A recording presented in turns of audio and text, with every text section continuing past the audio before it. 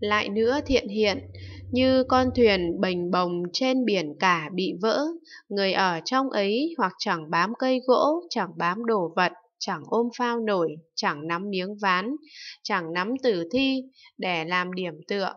thì biết chắc là sẽ chết chìm, chẳng đến được bờ. Này thiện hiện lại có con thuyền bồng bềnh trên biển cả, tuy bị vỡ nhưng người trong thuyền bám được cây gỗ, đồ vật, phao nổi, ván tử thi để làm điểm tựa, thì nên biết những người ấy chắc chắn không chết chìm, đến bờ an ổn, không tổn không hại, hưởng niềm vui vi diệu. Này thiện hiện cũng vậy, các thiện nam tử, thiện nữ nhân trụ Bồ Tát Thừa, đối với Đại Thừa tuy thành tựu ít phần tín, kính, ưa thích, nhưng chẳng sao chép, thọ trì, đọc tụng, tư duy, tu tập bát nhã ba la mật đa sâu xa để làm chỗ nương tựa, hoặc chẳng sao chép, thọ trì, đọc tụng, tư duy, tu tập, tịnh lự, tinh tấn, an nhẫn, tịnh giới, bố thí ba la mật đa để làm chỗ nương tựa, hoặc chẳng sao chép thọ trì đọc tụng tư duy tu tập pháp không nội để làm chỗ nương tựa hoặc chẳng sao chép thọ trì đọc tụng tư duy tu tập pháp không ngoại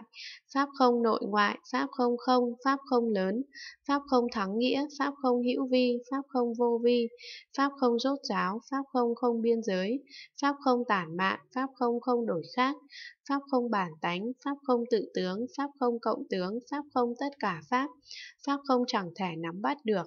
Pháp không không tánh, pháp không tự tánh, pháp không không tánh tự tánh, để làm nơi nương tựa, hoặc chẳng sao chép thọ trì đọc tụng tư duy tu tập chân như, để làm nơi nương tựa, hoặc chẳng sao chép thọ trì đọc tụng tư duy tu tập pháp giới pháp tánh. Tánh chẳng hư vọng tánh chẳng đổi khác. Tánh bình đẳng tánh ly sanh. Định pháp trụ pháp thật tế cảnh giới hư không cảnh giới bất tư nghỉ, để làm nơi nương tựa, hoặc chẳng sao chép thọ trì, đọc tụng, tư duy, tu tập thánh đế khổ để làm nơi nương tựa, hoặc chẳng sao chép thọ trì, đọc tụng, tư duy, tu tập thánh đế tập diệt đạo để làm nơi nương tựa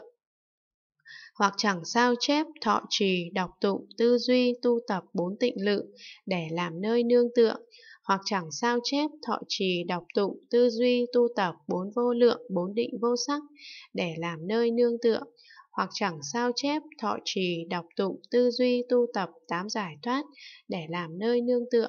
Hoặc chẳng sao chép, thọ trì, đọc tụng, tư duy, tu tập tám thắng xứ, chín định thứ đại, mười biến xứ để làm nơi nương tựa hoặc chẳng sao chép, thọ trì, đọc tụng, tư duy, tu tập, bốn niệm trụ để làm nơi nương tựa. Hoặc chẳng sao chép, thọ trì, đọc tụng, tư duy, tu tập, bốn chánh đoạn, bốn thần túc, năm căn, năm lực, bảy chi đẳng giác, tám chi thánh đạo để làm nơi nương tựa. Hoặc chẳng sao chép, thọ trì, đọc tụng, tư duy, tu tập, pháp môn giải thoát không để làm nơi nương tựa. Hoặc chẳng sao chép, thọ trì, đọc tụng tư duy tu tập pháp môn giải thoát vô tướng vô nguyện để làm nơi nương tựa hoặc chẳng sao chép thọ trì đọc tụng tư duy tu tập mười địa Bồ Tát để làm nơi nương tựa, hoặc chẳng sao chép thọ trì đọc tụng tư duy tu tập năm loại mắt để làm nơi nương tựa, hoặc chẳng sao chép thọ trì đọc tụng tư duy tu tập sáu phép thần thông để làm nơi nương tựa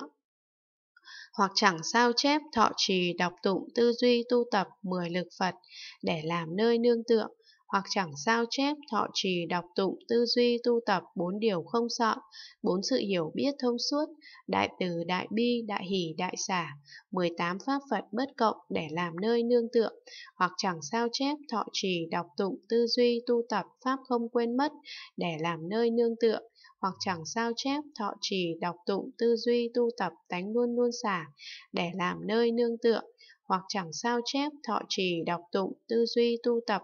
trí nhất thiết để làm nơi nương tựa, hoặc chẳng sao chép thọ trì đọc tụng tư duy tu tập trí đạo tướng, trí nhất thiết tướng để làm nơi nương tựa, hoặc chẳng sao chép thọ trì đọc tụng tư duy tu tập tất cả pháp môn đà la ni để làm nơi nương tựa, hoặc chẳng sao chép thọ trì đọc tụng tư duy tu tập tất cả pháp môn tam ma địa để làm nơi nương tựa, hoặc chẳng sao chép, thọ trì, đọc tụng, tư duy, tu tập, tất cả hạnh đại Bồ Tát để làm nơi nương tựa, hoặc chẳng sao chép, thọ trì, đọc tụng, tư duy, tu tập quả vị giác ngộ cao tột của chư Phật